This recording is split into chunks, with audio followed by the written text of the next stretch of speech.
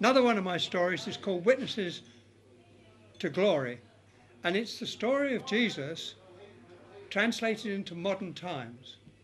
And each chapter is a witness by somebody who saw what happened. But it's all in the present day. The Roman soldiers carry submachine guns.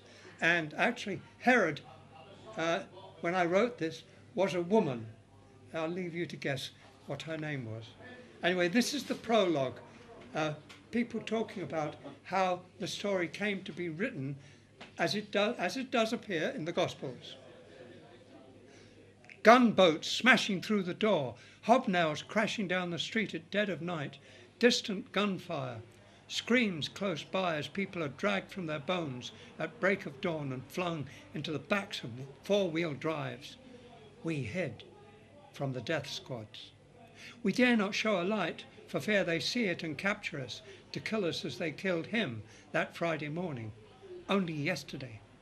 But it seems like an age of terror and torture. If they stop and question us, we must deny everything, even him. It is like a sour taste in the mouth, like vomit, this denial. But we are only human. We want to live. We tell ourselves our denial is to survive, so we may pass on his message, but we lie when we say it. For we tell no one, not even our friends, since all will betray us to save themselves, as we would ourselves. No one can judge another when the beatings and electric shocks start. Yet the need to pass it on is so great, we must confess it to each other. So we sit in these cellars in the dark, whispering to the night, holding off the dark as the troop carriers roar down the streets above us, the gun butts smash the doors, the death rattle of submachine guns fills the night as our comrades die. The ones who are not taken alive are the lucky ones. What we whisper to each other are our memories, a liturgy of hope, how it was, how it will always be in our recollection, how it is to come. Each of one, each of us has a part of it, and we share it with each other as he taught us to share his blood and his body, cowering here in the dark, and it is like a glimmer of a candle in the hurricane, flickering, faltering, but rising up again.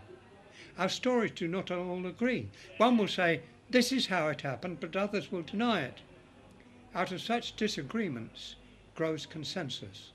Perhaps it is an outside force at work. The counsellor he promised would come after he left us, guiding us through these frantic, frightened whispers in the long silences between the horrors of the street above. Our numbers are not constant. They are picking us up all the time, and of course, death is still part of the world in these last times. None of us is immune. So these whispered memories become all we have of those who are gone, those who disappear, those who stop sheltering with us. Nothing can be written down, it's too dangerous. But though we are mostly literate, we have been using our memories all our lives. It was part of our daily worship before the clampdown. There are scrolls in the temple, but we do not need them to quote you chapter and verse. We can hear them in our ears, recalling them as they were read at each weekly Sabbath. And so we can also hear the words he spoke and what others have told us of what he said, replaying it to each other so they become not the memories of one, but the memory of all. One day, of course, perhaps a lifetime hence, they will be written so that the whole world may read in all the million tongues of humankind.